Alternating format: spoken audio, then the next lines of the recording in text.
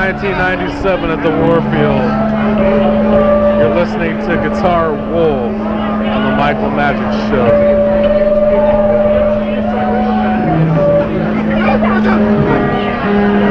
They're from Japan. They're cool people.